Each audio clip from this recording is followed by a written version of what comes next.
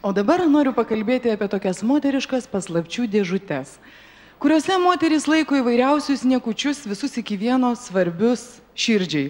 Na, pavyzdžiui, vedybų ir skirybų dokumentus, laiškus, ceratas, kur užrašytas vaiko ūgis ir svoris, kuriuos užkabina jam ant kojytės gimdykloje. Tokią dėžutę be abejonės turiu ir aš. Ir dabar aš noriu iš jos ištraukti labai gražią dainą kurią kažkada padainavo Engelbertas Hamperdingas, o šiandien ir tikrai nemažiau įspūdingai ją padainuos Viktoras Malinauskas. Lietuvišką tekstą, kaip ir lietuviškus tekstus beveik visoms dainoms šį vakarą, parašė Jurga Čekatauskaitė. Taigi, Viktoras Malinauskas ir leisk man.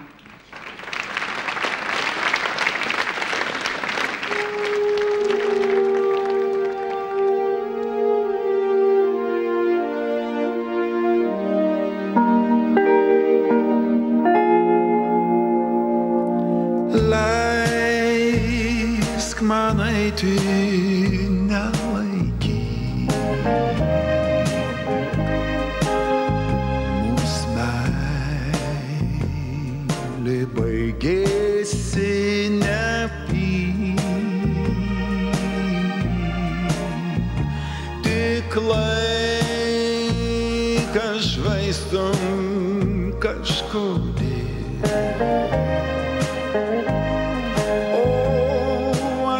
atleiskit ir leisk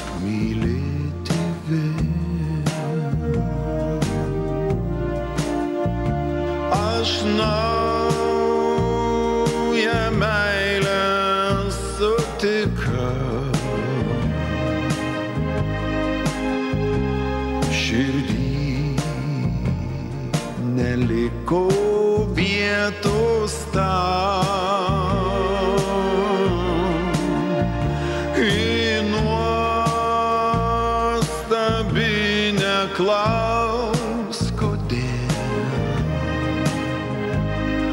O atleiskit ir leisk mylėti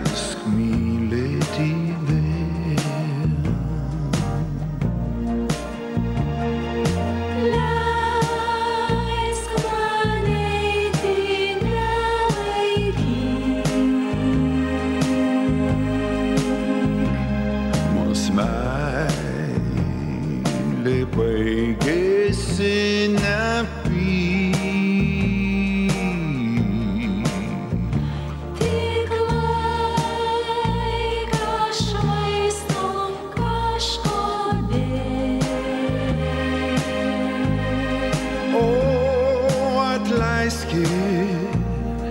Ir leisk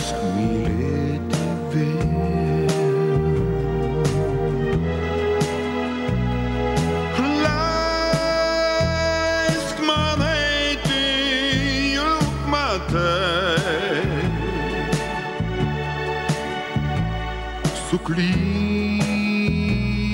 doma